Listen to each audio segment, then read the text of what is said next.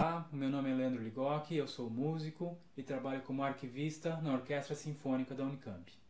Em vários anos tocando e trabalhando com partituras, eu vi que é muito raro que o violão seja requisitado para participar de uma peça orquestral. O violão é muito conhecido como instrumento solista, veja por exemplo o concerto de Aranjuez. Mas realmente são raras as peças em que o violão aparece participando dentro da orquestra. Vou falar de uma participação ainda mais rara do violão na orquestra, que é como personagem de uma ópera.